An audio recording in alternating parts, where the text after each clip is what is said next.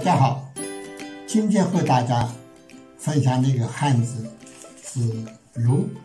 这个汉字女字边旁加一个口，在甲骨文里面也是这样写。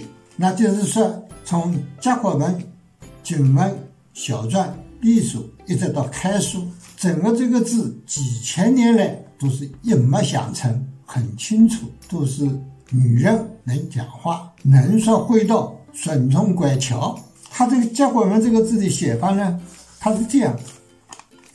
你看，这是一个规矩做的女人，头上还有发簪，口就是说明这个女人能说会道。如和胸长的胸都是表示会说话，胸长的胸是口字底下一个儿，甲骨文里面也是一个口，大大的口底下一个人，表示这个人会讲话。口齿伶俐，当然胸字还有它有胸膛的意思在里面啊，老大的意思在里面。它这两个，它都有相同的地方。如是表示会讲话讲得非常乖巧的女孩子，胸是指男孩子。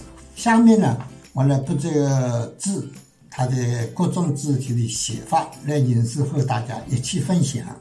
甲骨文里面这个字的写法呢，一款呢是这样写。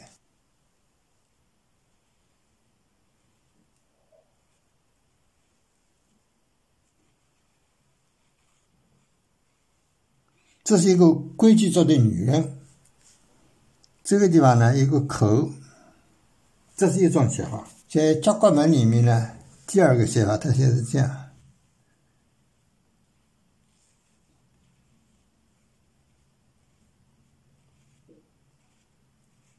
就是这个规矩的女人的方向，一个是向左，一个是向右。第三个写法，它写是这样。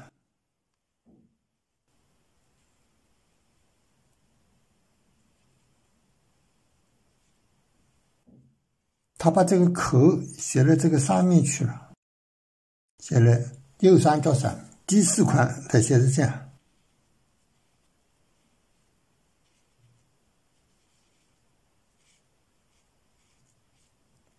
这个口他写在这个地方。甲骨文的这个四款这个不同的写法，在金文里面这个字的写法呢，它基本上是继承了甲骨文的写法。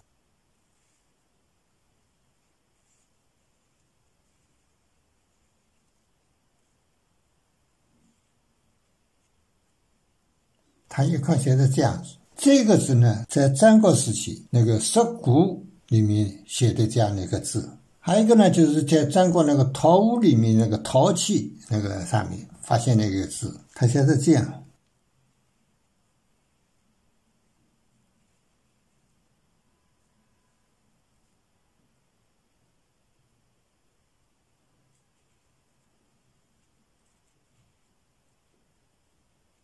就是这个字，在《说文解字》里面，他收集的一个字呢，他是这样的写的，基本上就和那“石鼓”那个字差不多。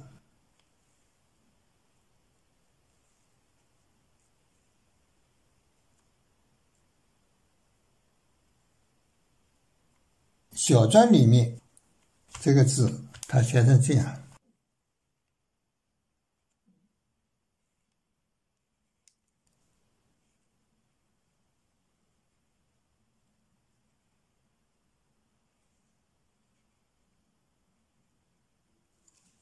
小篆就写成这样，隶书里面呢，它基本上是沿着小篆一样的勾勒，从那是甲骨文基本一脉相承下来的这个字，没太大的改变。他把个女字写的这样，这边那个口呢，他写的这样一个，超全碑里面这个字，他写的这样一个，所以楷书。写的是就是有两个隶书这样演变过来。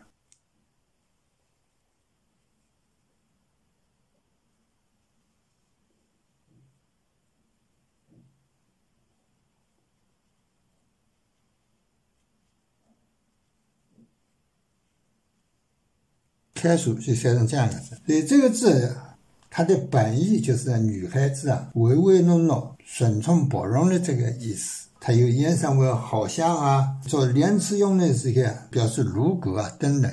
好，今天呢，我们就把这“如”这个字和大家一起分享到这儿。谢谢你的收看，再见。